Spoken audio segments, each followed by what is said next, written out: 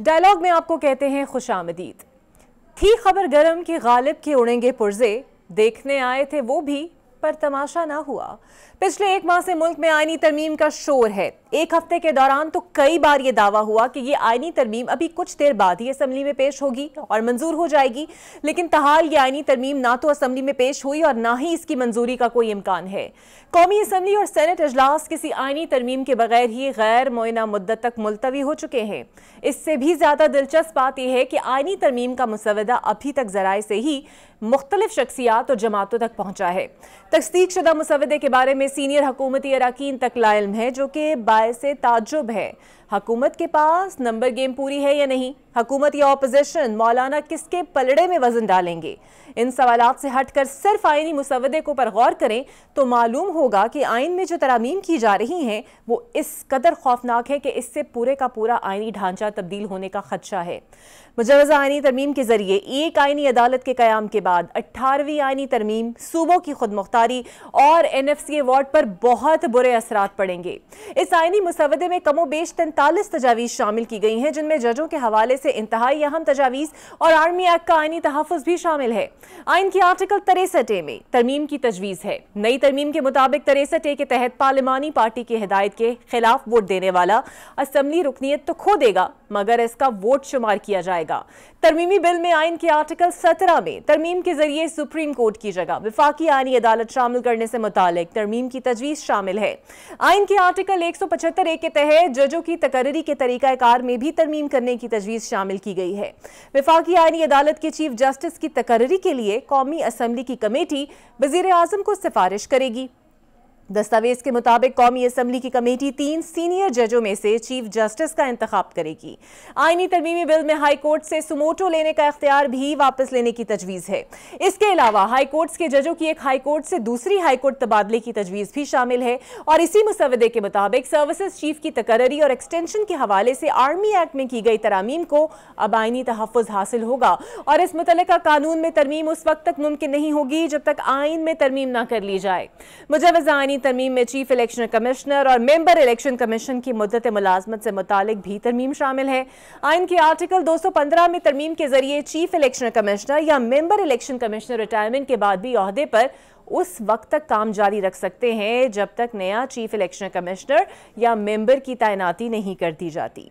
तो ये है वो मसवदा जो सोशल मीडिया पर भी गर्दिश कर रहा है और अब आवाम के जहनों में सवाल भी बहुत ज़्यादा हैं। इसीलिए हमारे साथ सबसे पहले मौजूद होंगे सीनियर सहाफ़ी हैं तजयाकार हैं आरिफ हमीद भट्टी साहब। बहुत शुक्रिया भट्टी साहब। मुजवज़ा आइनी तरमीम के ज़रिए एक आइनी अदालत का क़्याम हो, फिर उसके बाद सूबों की खुद मुख्तारी एन एफ़ सी अवार्ड पर कुछ असरा पड़ेंगे, लेकिन जो कौम ने कल आनिया जानिया देखी, हुकूमती अरकान की और जिस तरह मौलाना साहब ने एक बड़ा हीरोइक किरदार अदा किया अपोजिशन की नज़र में सर आवाम क्या सोचती है इस पर? बिसमीम नंबर एक तो आवाम के वोटों से ये हुकूमत आई नहीं अदब एहतराम के साथ इख्तलाफ राय की गुस्ताखी हम्म। कर रहा हूँ। जिस मुल्क में 95 परसेंट लोग दो वक्त का खाना ना खा सके साफ़ पानी ना पी सके बीमारी में इलाज ना करा सकें बच्चों को तालीम ना दिला सकें, जहाँ रोज़गार ना हो। बड़ी तादाद में आपकी अशराफिया अरब खरबपति टैक्स चोर फराडिए, सेठ, मुल्क से बाहर भाग रहे हों।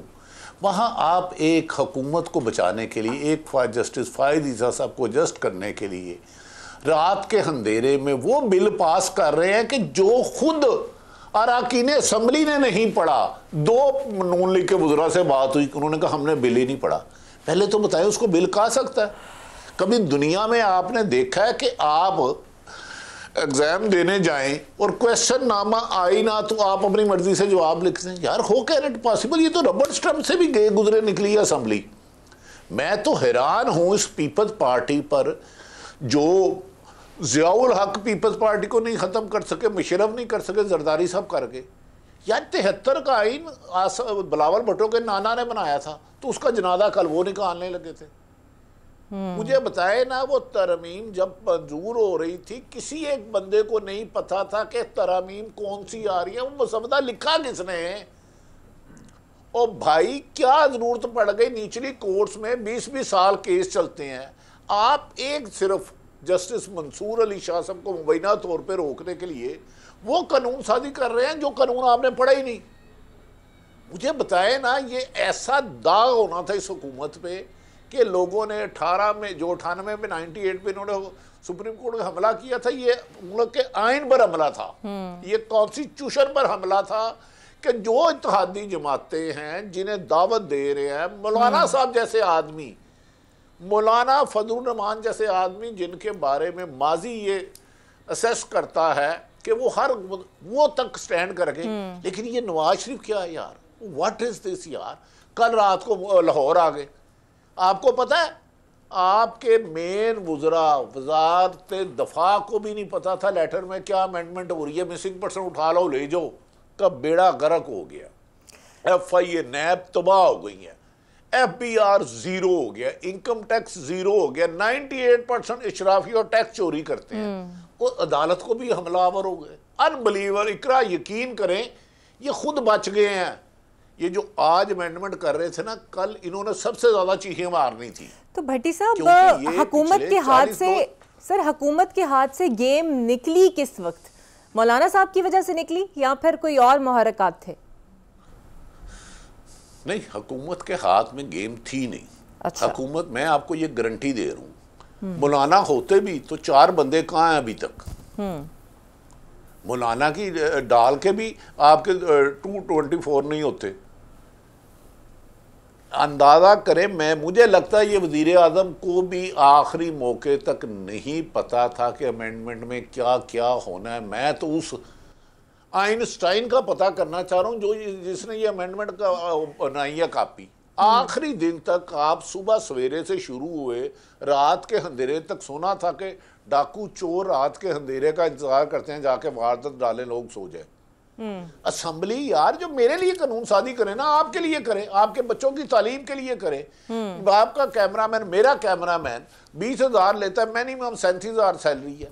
तो यार आपको पूरे मुल्क में एक इशू आया है कि फायद ईसा को जस्ट करना आईनी अदालत बनानी है अदालत के ऊपर अदालत बनानी है। क्या बाकी सब आपने ठीक कर लिया है? आपको तीन मुल्क कर्ज नहीं दे रहे दिवालिया आप अमलन हो चुके हैं। हम्म। यानी कि इतना कि इकतदार के लिए अंधा हो जाना कि आप 25 करोड़ आवाम की वादिया मेजोरिटी को पता ही नहीं और उनके मुंतहिम नुमाइंदे चाहे फॉर्म पैंतालीस है सैंतालीस है उनको भी नहीं पता आज किस पे साइन करने हैं। तो भट्टी साहब मौलाना साहब की एक खैरत है भाई उन्होंने हाँ। जी सर पूरी कर लें बात वो एक ताजुब है कि मौलाना साहब कैसे स्टैंड लेंगे? अनबिलीवेबल है ये कोई सोच भी नहीं सकता था। मैं अपनी बात कर रहा हूँ हम्म। कि कल हम शाम तक कोई दस जर्नलिस्ट इधर बैठे थे मेरे गरीब खाने पे। हम्म। तो हमारा ख्याल था एंड ऑफ़ द डे ये कामयाब हो जाएँगे और मौलाना आहिस्ता आहिस्ता माहौल बना रहे हैं कि हमने जी बड़ी एफर्ट्स की। लेकिन जब असम्बली से मौलाना साहब निकले रात को जो कमेटी थी तो एक जो उनके साथ थे मैंने उनसे फ़ोन किया। कहते यार ये इन्होंने हमें क्या कायल करना है? ना तो खुद नहीं पता बिल में क्या लिखा है। कैन यू इमेजिन यार ये कभी कानून सादी हुई है इस तरह? तो सर मुलाकातों में फिर क्या उनके साथ ये बातें करते रहे हैं? बार बार कभी कोई जा रहा है कभी कोई जा रहा है कभी बिलावल भुट्टो जा रहे हैं कभी वज़ीर आज़म जा रहे हैं कभी मोहसिन नकवी साहब जा रहे हैं तो फिर बात करते क्या थे उनसे जाके? यार ऑफ़ कोर्स ये मीडिया में आ चुका है चार वजारतें ले लें के पी के की गवर्नरशिप ले लें एक हाँ। उनके रुकन असम्बली हैं या वज़ीर है उन्होंने कहा आइनी अहदा देने के लिए तैयार है कल ख्वाजा आसफ ने खुद कहा कि यार नंबर गेम पूरी नहीं हुई इसलिए हम नहीं कर सके खुद ख्वाजा आसफ वज़ीर दफ़ा हैं हम्म। जो अपनी सीट का दफ़ा नहीं कर सके जो एक बेवा की सीट रेहाना डार उस्मान डार की वालदा पर मुंतब होके आए हैं मुझे समझ नहीं आती, इतने इतने सीनियर पॉलिटिशियन हैं, ख्वाजा साहब भी हैं। चलो, नवाज़ शरीफ को जियाउल लाए एटी वन से हो यार, आपका इतना विजन भी नहीं है कि जो आप अमेंडमेंट ला रहे हो, उसको तीन चार दिन अपने हाउस में डिस्कस कर लो। हो सकता है वो आपकी बेहतरी हो। आप अंदाज़ा करें ना जिस मुल्क का वज़ीर आज़म ना बेखबर हो। और सर आपको लगता है आर्टिकल तिरसठ पर एतराज़ तो बहुत सी जमातों को था लेकिन अगर ये आइनी तहफ़ मिल जाता है तो इसका मतलब है कि हम फ्लोर क्रॉसिंग क्रॉसिंग को आइनी तहफ़ दे रहे हैं। यानी बरह रास्त तमाम पार्लिमानी बॉडी सेनेट कौमी असम्बली अब आप एक मछली मंडी बनाने जा रहे हैं। नहीं इकरा देखें आप ऑफिशियली रिश्वत को लीगल कर रहे हैं खुद ही कहते हैं मैंने 20 करोड़ दे के सेनेटर बना मैं 40 करोड़ दे के बना। अब भी ऑफ़र आ रही थी। दो तीन साहबान ने कहा कि हमें 20 करोड़ 40 करोड़ की ऑफ़र थी। इसका मतलब है इस मुल्क में रिश्वत करप्शन लूट मार अगवा कारियाँ को आप लीगल शक्ल दे रहे हैं कि कोई एक बंदा अगर ज़िंदगी में अच्छी ज़िंदगी गुजार रहा है कोई बुराई से बच के कर रहा है हराम रिश्वत नहीं खाना चाह रहा आप उसको तहफ़ दे रहे हैं, आप खाओ हराम का माल, आप अवाम के वोटों से आओ या जाल से आओ, फिर पचास करोड़, बीस करोड़ लो, दो वजारतें लो। ये कभी कोई हुकूमतें, मैंने सुना था कि करप्शन के खात्मे के लिए और अवाम की बेहतरी के लिए कानून साजी करती हैं। ये मौजूदा शबाज शरीफ साहब को ये क्रेडिट जाता है कि इन्होंने अवाम की तजलील, अदारों की बेतुकीरी और इदारों को कमज़ोर करने के लिए कानून साजी कर रहे हैं। ये पाकिस्तान की तारीख में इतनी बड़ी पैमाने पर आईनी तरमीम गालबन 53 कोई कह रहा है, क्योंकि मसफदा तो है नहीं। कोई पता नहीं एंड पे भी जो आया हो, ये भी इन्होंने जाली पेश कर दिया हो। क्योंकि सुना था कि तीन चार ऐसी शिक्के थी कि इकरा, हारिस, रशीद अहमद, रिंद, बशीर, इमरान, नवाज़ शरीफ, जिसको मर्ज़ी उठा के ले जो कोई पूछने वाला नहीं। तो भट्टी साहब मैं, मैं मेरी समझ से बाहर है। तो भट्टी साहब एक सवाल तो देखें जहनों में उठता है और आवाम भी सोचती होगी ये आइनी पैकेज का मुसवदा कहाँ से आया कौन लाया और इतना अंधा एतमाद हुकूमत को क्यों था कि आनंद फानन ये मंजूर हो जाएगा? नहीं हुकूमत की मजबूरी थी। फायद ईसा का रहना ज़रूरी था। आइनी तरीम बहाना है इमरान खान निशाना है। सिर्फ़ और सिर्फ़ एक शख्स को क्योंकि उसने फ़ायद ईसा साहब ने बला छीन लिया उनकी बातें नहीं पूछ रही। लेकिन मुझे इस एक हुकूमत मुस्लिम लीग नून एक बड़ी सियासी जमात रही है इसमें दो राय कोई नहीं और आज भी इसका वोट बैंक है कम हो गया बड़ा। इतनी यार क्या मजबूरी है यार आपके खुद बिल भी नहीं अपने अरकान असम्बली को भी नहीं बिल पढ़ा सके हम्म। अपने बुज़ुर्ग को नहीं पढ़ा सके। किसने इन्हें इतना मजबूर किया था? ये तो वज़ीर आज़म को चाहिए आके प्रेस कॉन्फ्रेंस करें कि जनाब ये गैर आईनी काम आईनी तौर पर मुझसे ज़बरदस्ती करवाया जा रहा था। हम्म। यहाँ कहें कि हाँ मैं खुद इस मुल्क की अदलिया को कमज़ोर करना चाह। रहा हूँ कल को ये और दीगर अदारों के बारे में भी ऐसी कानून साजी कर देंगे कि कोई इंडिपेंडेंट फैसला ना कर सके। इजहार राय तो वैसे ही पाकिस्तान में तदफीन हो गई है। तो मुझे बताएँ, कोई जी खोज सियासतदान ये काम नहीं कर सकता। मैं नहीं मानता कि नवाज़ शबाज शरीफ पर बहुत ज़्यादा दबाव है। अब ये खुद क्लियर कर सकते हैं। वरना इतनी हंदेर नगरी एक गैर कानूनी काम को आइन की शक्ल देने के लिए, कल को एक मिसाल के तौर पे मैं देता हूँ। ये असम्बली कह देती है कि ये असम्बली 20 साल रहेगी, ये कानून सादी कर देती है तो क्या मंजूर होगा?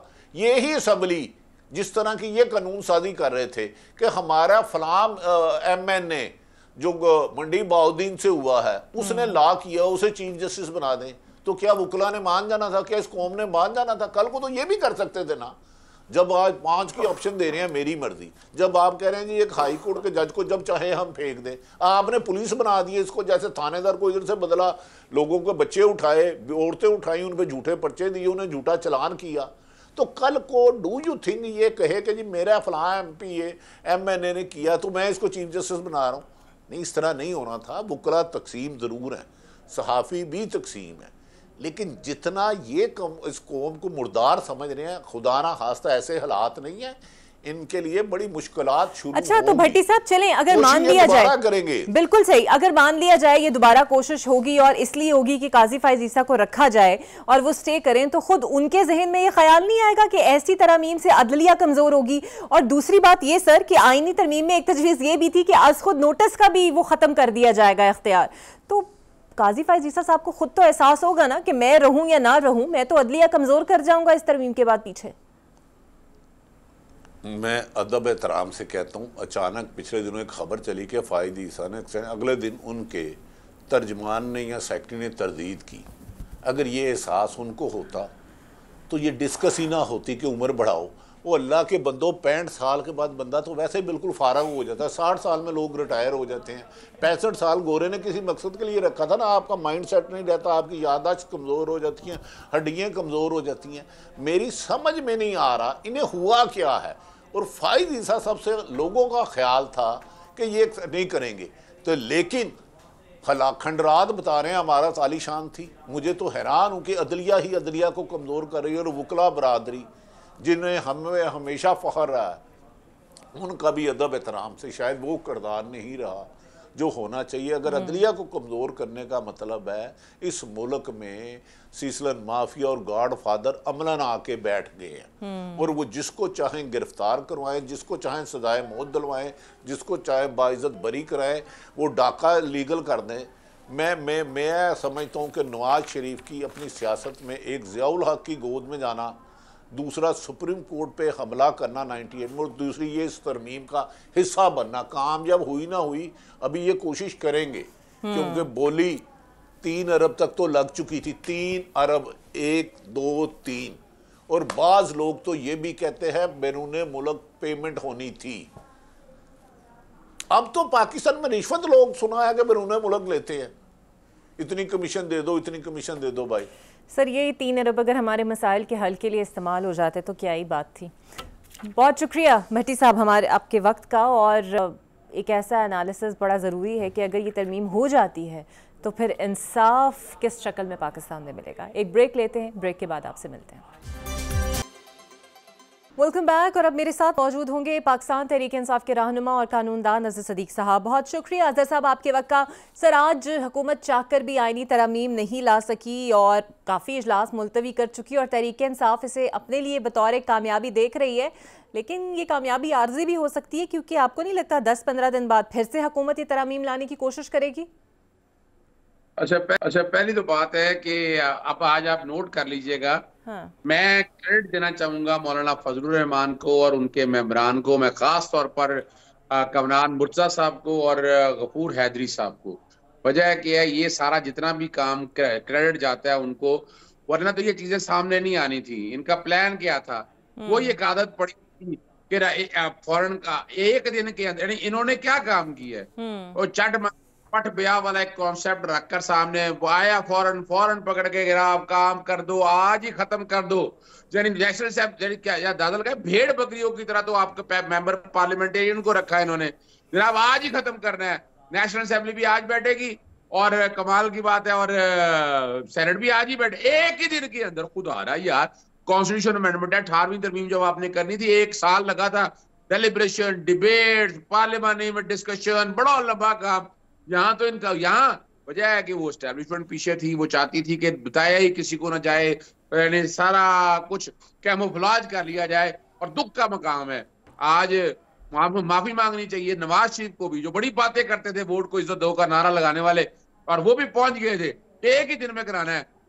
फिर पाकिस्तान पीपल्स पार्टी ने तो अपनी डेमोक्रेटिक नॉर्म्स ही उड़ा दी है उन्होंने उन्होंने ये मिसाक जमहूरियत साइन किया था ना उन्होंने और इस मिसाक जमहूरियत को इस डॉक्यूमेंट के ज़रिए वो पलटना चाहते थे ऑल टूगेदर यानी उसकी एक शक्ल ही ऐसी बनाना चाहते थे कि जिससे जुल्म बहुत ज़्यादा होगा। तो अजहर साहब ये आपका साथ दिया मौलाना ने क्योंकि मौलाना के तो कुछ अपने ही एतराजात थे तो आप लोगों के भी स्टैंड का उन्होंने पूरी तरह तो साथ नहीं दिया?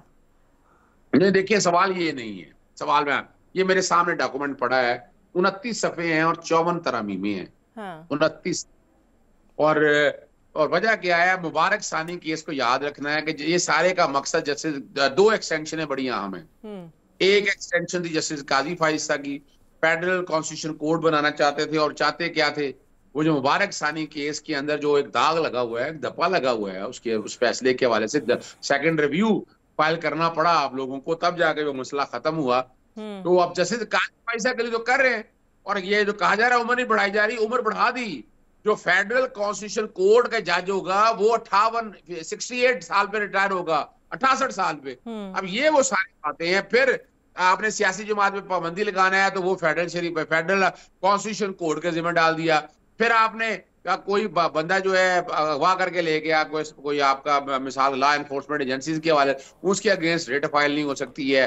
फिर आपने ऐसी ऐसी ड्रास्टिक चीज़ आर्टिकल तिरसठ ए के हवाले से यानी एक डिफेक्शन कर जाए वो वोट काउंट होगा वो कैसे हो सकता है? अमानत में खयानत की बातें हैं। तो इसमें हमारी बार काउंसिल या बार एसोसिएशन सारी कटी और मग हाँ। और बुध वाले दिन बाकायदा एक सेमिनार हो रहा है। अच्छा। और और मैं बता दूँ आपको इसको चैलेंज कर रहा हूँ। जहाँ छह हमारे पाकिस्तान बार काउंसिल के मेंबर ने चैलेंज किया है हम्म। मैंने बाकायदा रिप्रेजेंटेशन दिया आज ही। ठीक है। और मैंने ये उनतीस सफे साथ लगाए हैं कि जनाब ये है वो आपकी आईनी तरमीम जिसको ड्राफ्ट कौन करने वाला था?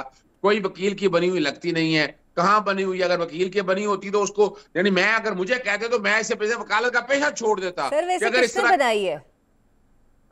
यह कोई डाउट ही नहीं है एस्टेब्लिशमेंट है टोटल एस्टेब्लिशमेंट इन्वॉल्व है। और ये उसका सबूत ले लेना। पूछा गया आज़म जी ताड़र से।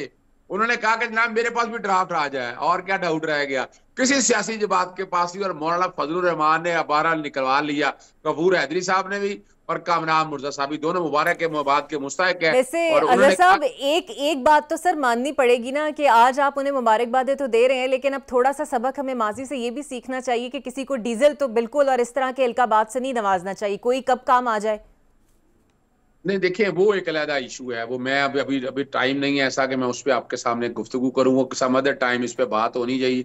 वो एक अलहदा इशू है लेकिन क्वेश्चन बड़ा वाजी है हम्म। हम पे इल्ज़ाम लगता रहा नवाज़ शरीफ ने तो आज जनरल जियाउल हक के से भी बड़े कोई बाप और बना लिया हुआ है अगर आप देखें आप यानी वो एस्टेब्लिशमेंट उंगली लेके पैदा हुए उन्हीं के साथ यानी इतने ताबेदार और वो कमाल की बात है ऐसी डील के साथ आए कि तय करके आए थे वज़ीर आज़म नहीं बनूँगा हम्म। ऐसी डील के साथ आए कि हमारे केसेस खत्म कर देंगे मैं अंगूठा छाप बन जाऊँगा और अपना भाई पेश कर दिया एक एक मुलाजिम के तौर पर हम्म। तो ये तो सारी ना? हमें देखे हमें भूलनी नहीं चाहिए। हमने आइन और कानून की पासदारी को सामने रखते हुए ना मैं तो ये किसी मज़ाक के नहीं बारे लेकिन देखें हमारे दौर में भी क्या होता रहा है कि कानून साजी पास कराने के लिए बंदे पूरे करना पड़ते थे।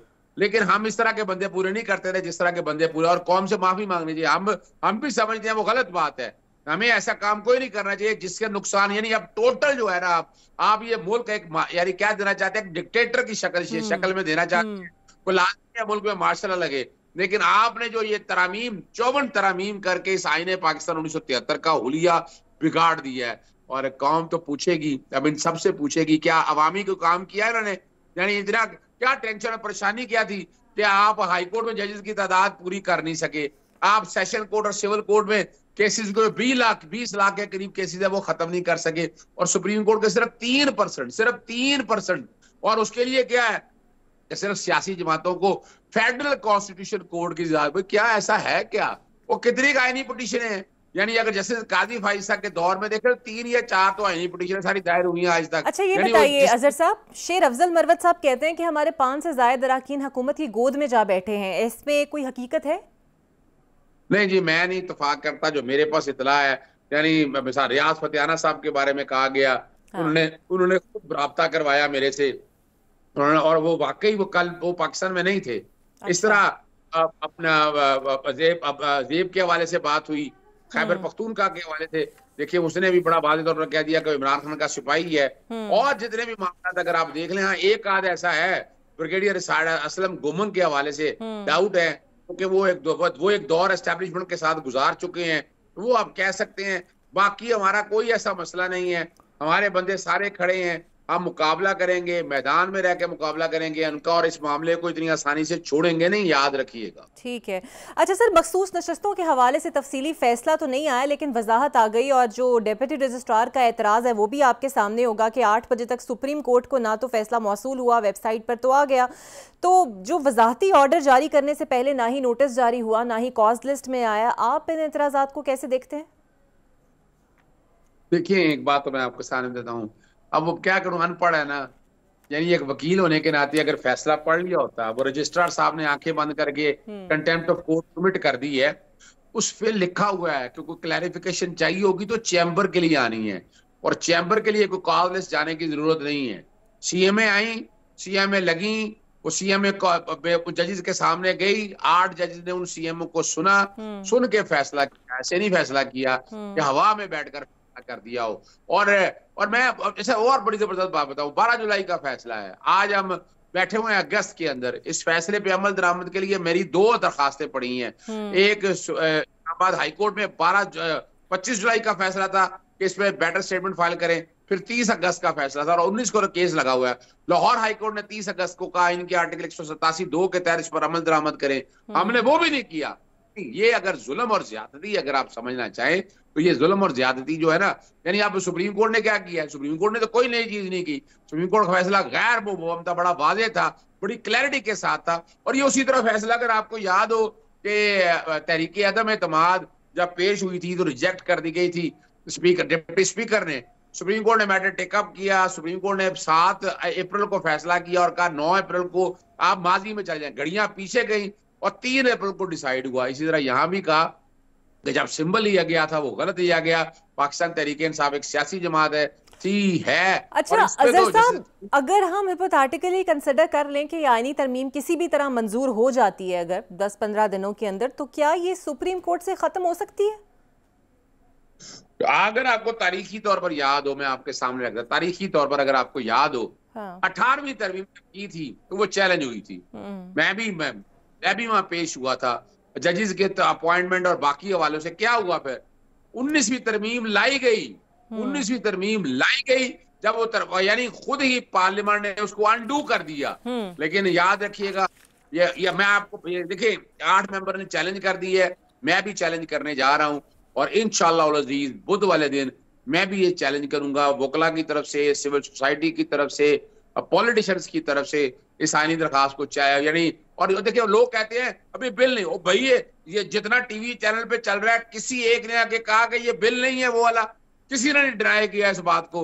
और हमने और फिर आपको प्रैक्टिस एंड प्रोसीजर एक्ट याद होगा सुप्रीम कोर्ट का जो बेंचेस हम्म। बनाने वाला था उस वक्त भी बिल बकायदा चैलेंज हुआ और वो भी मैंने चैलेंज किया होता उस वक्त। ये भी मैं तारीखी तौर पर बता दूँ। उस वक्त वो भी मैंने ही चैलेंज किया था। हैं दस पंद्रह दिन में क्या होता है मौलाना फिर से आपका साथ देते हैं पार्शली या नहीं देते क्या उनका यू टर्न आज तो बिलावल साहब ने बड़ा बुरा भी मनाया उनके यू टर्न पे। बहुत शुक्रिया अजर सदीक साहब मेरे साथ मौजूद है पाकिस्तान तरीके इंसाफ के रहनुमा और कानूनदान और अब एक ब्रेक के बाद आपके सामने कानूनी मौके रखेंगे। वेलकम बैक और अब मेरे साथ मौजूद होंगे सबक अटॉर्नी जनरल और सीनियर कानूनदान शाह खावर साहब बहुत शुक्रिया शाह खावर साहब आपके वक्त का। सर, जो मुसवदा सोशल सोशल मीडिया पर आइनी तरामीम का शेयर हो रहा है और जो हुकूमत लेकर आ रही है, आपको लगता है इसके ज़रिए जो तब्दीलियाँ की जाएँगी, उसमें अदलिया के अंदर से भी तनकीद उठेगी और यह हो सकता है कुछ ऐसी हूँ जो बहुत सारे वकला की ख्वाहिश भी हो? देखिए, मैं आपको बताऊँ कि इस चीज़ में तो बिल्कुल कोई दूसरी राय नहीं है कि अदलिया की जो पूरा एक स्ट्रक्चर है उसमें बहुत सारी तब्दीलियों की ज़रूरत है। हम्म। और खास तौर पे आला अदलिया हाई कोर्ट सुप्रीम कोर्ट में जजेस की तैनाती का जो तरीक़ाकार है मैं समझता हूँ उसमें बिल्कुल ज़रूरत है। और उसमें जो जो रिट जो रिस्ट्रिक्शन है हाई कोर्ट की अंडर आर्टिकल 199 उसको भी थोड़ा सा स्ट्रक्चर करने की ज़रूरत है लेकिन वो बहुत ज़रूरी है। और इसी तरह सुप्रीम कोर्ट ऑफ़ पाकिस्तान की जो जुरिस्ट्रिक्शन है ओरिजिनल जुरिस्ट्रिक्शन और उसमें भी जो आर्टिकल 184.3 के तहत, जो कि असखुद इख्तियार जो सुप्रीम कोर्ट इस्तेमाल करती है, वो जब उन्नीस सौ तिहत्तर में आइन बनाया गया था और उसमें सारी पॉलिटिकल पार्टीज़ का जो कि पार्लियामेंट में मौजूद थी और नहीं भी थी, उनके कंसेंसस के ऊपर ये एक ड्राफ्ट बना था और ये आइन बना था, जिसमें बड़ी सोच विचार के बाद आइन में जो है वो बुनियादी हकूक का एक चैप्टर रखा गया था। और वो जो फंडामेंटल राइट्स का, और उसकी हिफाजत जो है, उसका जिम्मा आइन में, सूबों में हाई कोर्ट्स को दिया गया था, और वफाकी सतह पर सुप्रीम कोर्ट ऑफ़ पाकिस्तान को।